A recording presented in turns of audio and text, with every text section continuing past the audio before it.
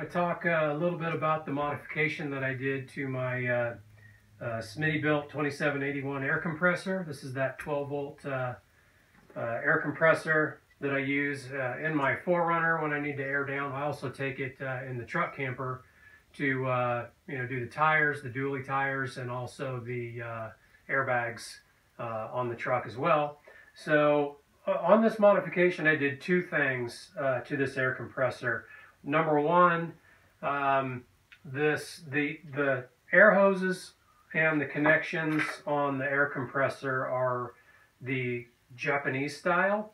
Uh, they're just a little bit different than the you know your standard SAE uh, style connection. I've got a couple of different ones here. This is the um, the standard connection, if you can see how that is, and then this is the Japan style, uh, Japanese style. So you can see the difference. Um, this style won't work with your, your standard uh, air hoses. So I want to swap this connection out for one of these guys. And um, actually I'm going to use um, the, uh, the connection that I'm going to use is actually going to be a female connector.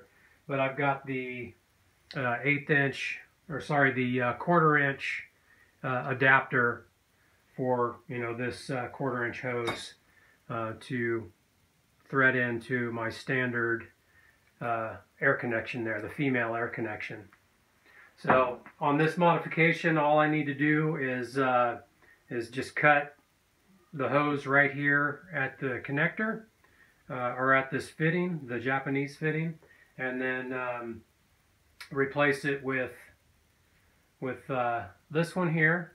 All right, so the main reason why I'm swapping this connection out um, for the, uh, the female standard connector is I want to have uh, a little bit more versatility in what I can use with it. My, my air chuck for my dually uh, and also my standard air chuck for the 4Runner, the shorter one. This is the extended one uh, for the dualies. It's got the dual um, nozzles there, plus it's the extended one so I can reach back in there uh, to get to the inside dually. Uh, but it's got it's got the standard male connector there. And yeah, I could have swapped this out uh, for the Japanese style um, female connector uh, for this to fit into. However, I wanted to have the option of using some of my other accessories. So, you know, my other airlines extended extended uh, hoses and things like that and it was just a little bit more convenient to for me to swap out to the female style on the hose instead of mess with this.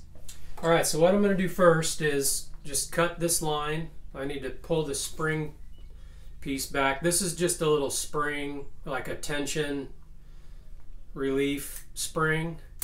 You take that off, so I can take this and just with a pair of cutters, or you can use the utility knife, just cut it real close so you don't lose, you know, a bunch of hose, any length of your hose. Take that off, it gives you a nice clean connection or a nice clean cut. Make sure that uh, you've got your, your spring tension relief there. I've got the, uh, the Teflon uh, thread seal already on there. I'll go ahead and push this guy on. Let's give it a little bit of a little bit of lubrication on there. And this should fit all the way in there. If it doesn't fit real easy, uh, you can you can slightly heat up this air hose with a hair dryer. Don't use a heat gun. Uh, just use a just use a hair dryer on like medium setting. Uh, if if it doesn't go on real easy, this seems to be going on pretty easy though. You want it to fit all the way up to the to the end of the uh, threaded fitting here, or the barbed fitting. Okay, so once you've got the hose pushed all the way on, you can push the uh, tension spring all the way up over the top of that. And if you want to, you can take your your hose clamp and squeeze down on that connection. I'm actually going to remove this. I don't need this extra hose clamp on there. This is this fitting's on there super tight with that barbed fitting. If you feel the need to have that extra security, go ahead and put your hose clamp on, tighten it down. All right, so now we can take our female standard connection and thread that on here. Like I said, we've already got this uh, pre-coated with the Teflon seal. Just a couple of winds around the threads will do. And then we'll just give this a good snug.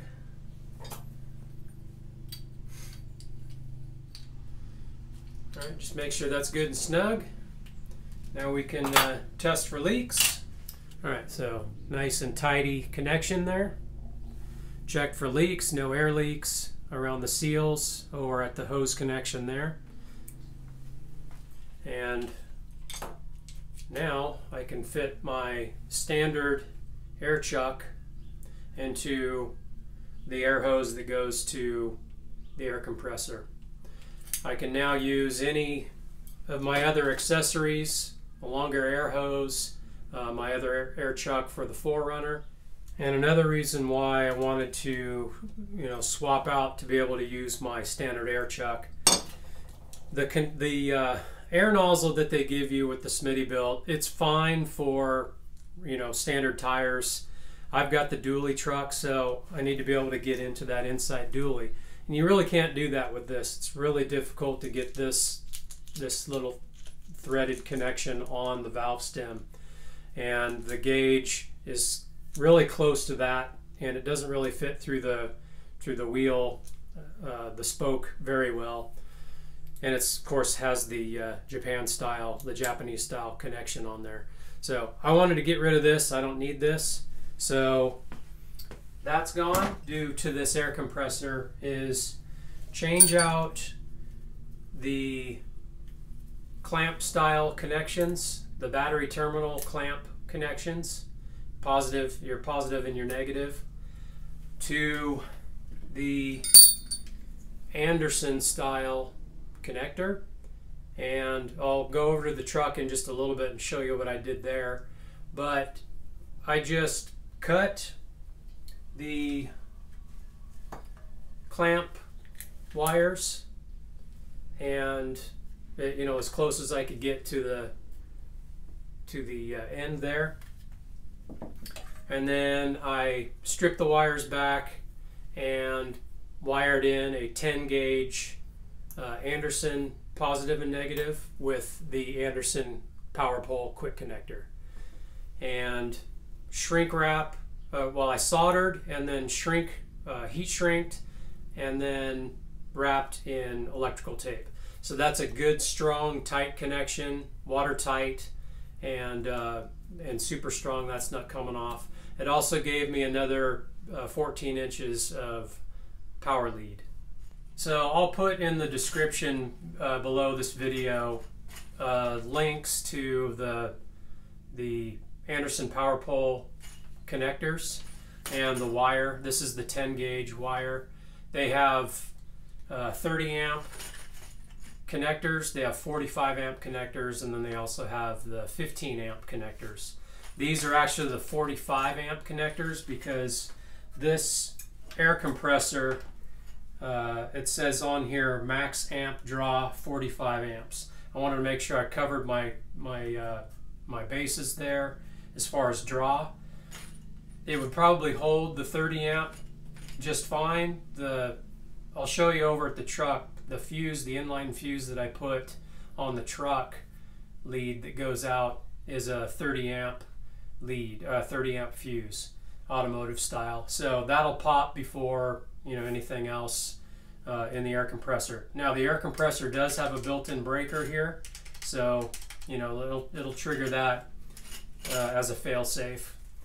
But again, I'll put all the links uh, below uh, in the description here for this wire. This is really good stuff. Good high quality connections and um, I'll show you that they're waterproof as well. All right, so we're out here at the truck and uh, what I did on the truck here, let me pop the hood.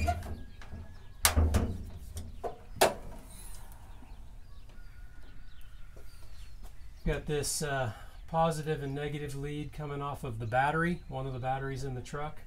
Got my 30 amp automotive style fuse in line on the positive side.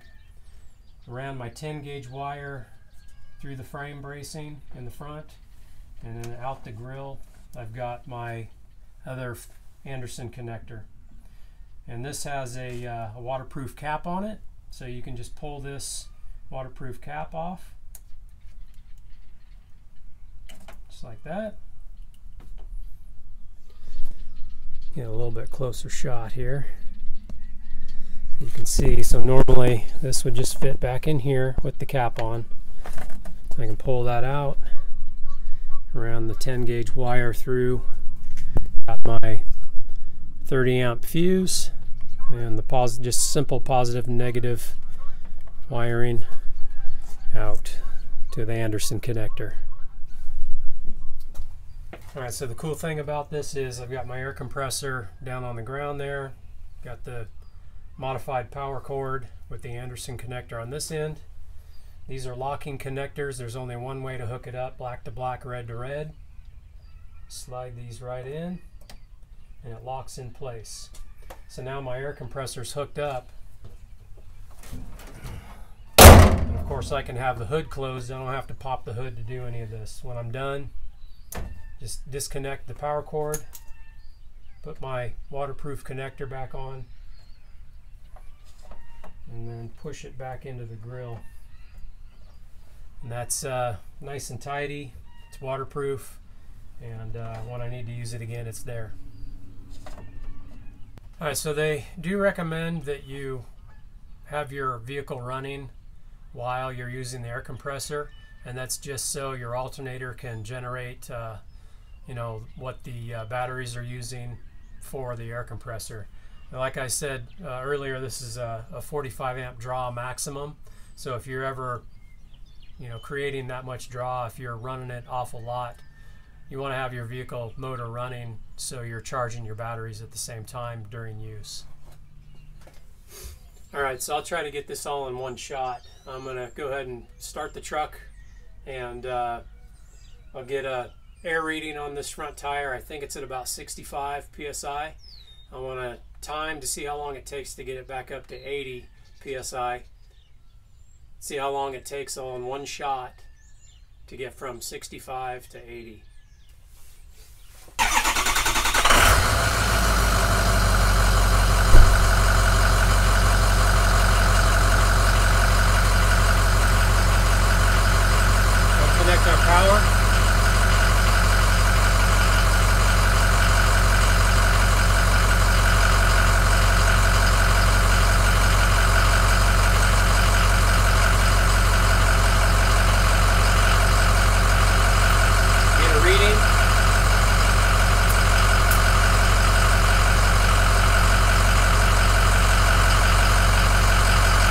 65 psi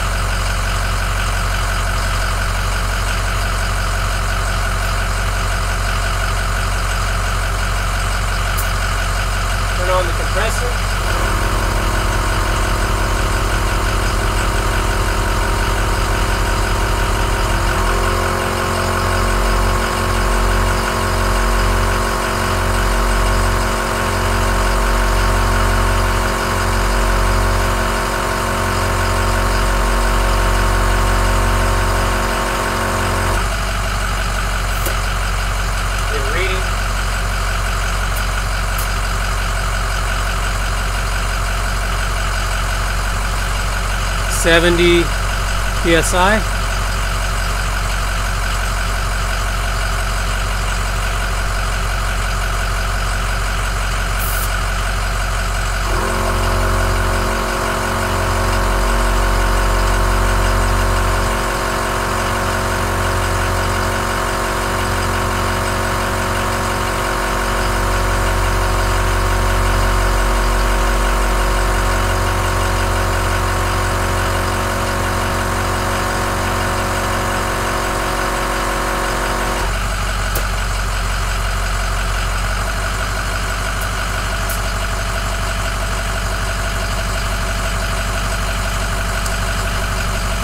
75 psi.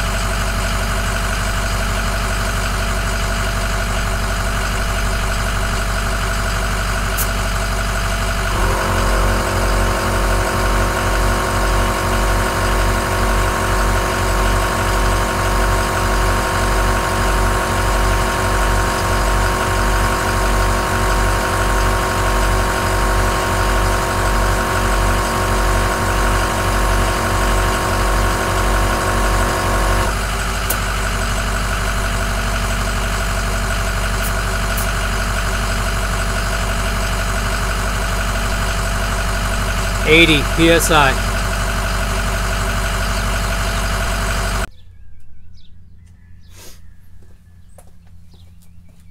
Alright, so I got the truck shut off. I can disconnect my power, put my waterproof cap back on, and tuck that back in the grill. And that's it. The uh, Smittybilt uh, model 2781. It is a uh, 150 psi maximum. It's 5.65 uh, CFM. So most of your air compressors are right around 2, uh, 1, 1.8 to 2 CFM. Even the higher end Viair, uh, like the 450 RV, that's only about a 2.5 CFM. So this has it beat. Uh, this has a about a 60% duty cycle, which is really good for a, a lightweight compact air compressor. Uh, it'll run for about 40 minutes non-stop uh, before it'll you know trip the uh, trip the built-in circuit breaker there. It's uh, all metal casing it's a single piston system and uh, all of the hardware and connections are all really nice. It's uh, nicely built. It's got the uh, you know the, the foot pad here with uh, rubber feet on the bottom and it's just uh, a nicely built air compressor. So again the uh, Smittybilt 2781 it's been working out great for me. I've used it quite a bit and another thing to note would be this handle. Some of some of the air compressors that I've used in the past, the the handle and the casing get super hot. It'll it'll burn your hand just by touching it in a split second. This has a um, a gun barrel style uh, fitting, so over the top of the handle it stays nice and cool. These fittings will get hot, but if you keep your hand on the handle itself, uh, you won't burn yourself. So it's a nice added feature there to have this uh, heat. It's like a heat sink uh, style handle. Uh, I ran this for just a few minutes. None of these fittings are hot. Uh, they're you know slightly warm, but they're not hot to the touch. Give you a uh, little bit closer view of the handle and all the hardware and fittings. The rubber pad, uh, rubber feet on the bottom of the of the stand, the pad there.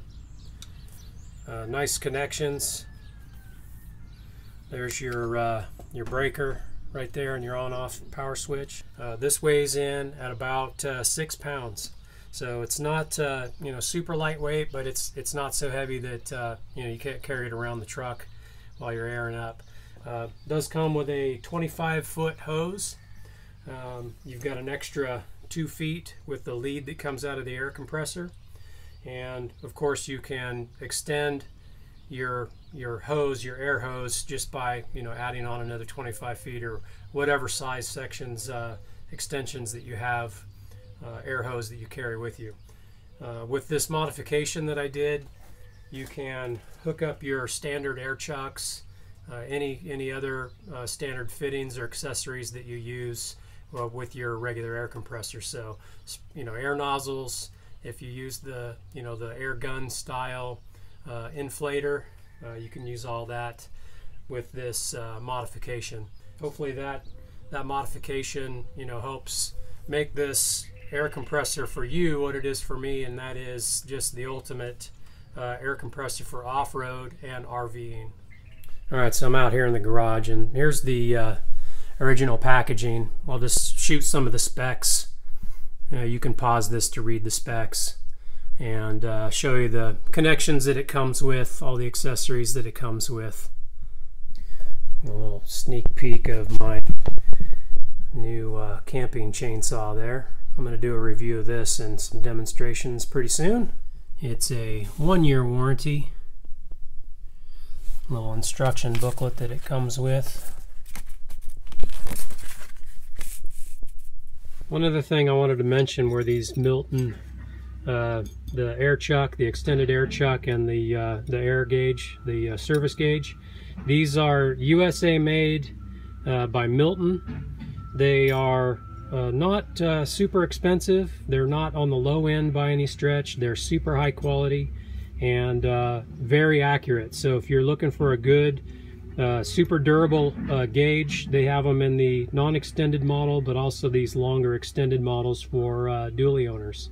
So I'll put links in the video description below for these as well. they're available on Amazon. They're under $20. I think that this one was about, uh, oh, 12 or $13, so not super expensive. We're pretty much on par, on par with some of the other uh, cheaper models, uh, less durable models. But these are all made in the USA and um, really high quality stuff here and uh, just dead accurate. A lot of the truck drivers use these and uh, they swear by them. So I purchased my air compressor uh, on Amazon.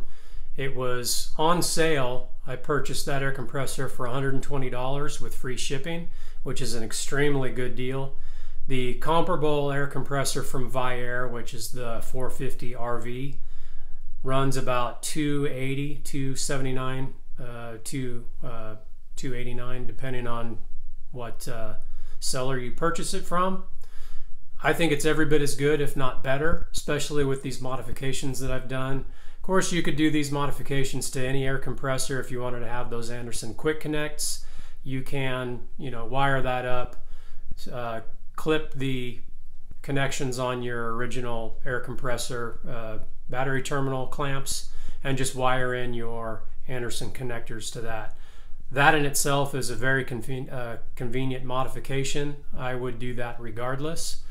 But I'm really happy with that air compressor. It, so far, it's been really durable. It hasn't let me down. It hasn't uh, stopped. I haven't even run it long enough for the um, breaker to the built-in uh, circuit breaker to trigger and shut it down. So I have uh, run it for about 15 minutes and uh, in one session and felt the wires, the uh, 10 gauge Anderson wires and while they did feel slightly warm, they were not hot.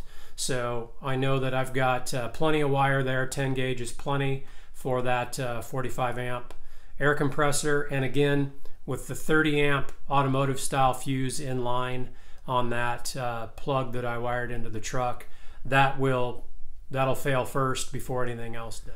So I hope this video kind of helps you out uh, maybe deciding on an air compressor if you're thinking about the Smitty Smittybilt 2781. I really like that air compressor. Uh, it was not really the price was the deciding factor, but some of the reviews that I've read on the Jeep forums and uh, some of the other off-road forums that I that I read. Um, they've everybody that uh, uses this air compressor has had great luck with it. Doesn't let them down. It's fast and um, it, it has that 150 psi uh, working range so and a little bit longer duty cycle than some of the other ones uh, if you have any questions on the air compressor or uh, anything else that I've done in this video shoot me a comment uh, below or any questions uh, below in the description and I'll try to get those answered uh, the best that I can. So hopefully this video helps you out and we'll catch you on the next one. Later